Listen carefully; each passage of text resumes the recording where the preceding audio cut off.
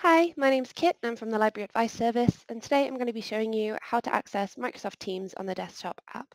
So once you've downloaded the app, you'll need to locate it on your computer using your computer search function or by finding it just on the desktop.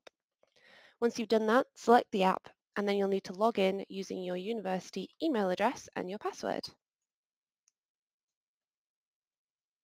And there you have it. That's how to access Microsoft Teams through the desktop app. Don't forget to ask for help if you need it. Details are on our website.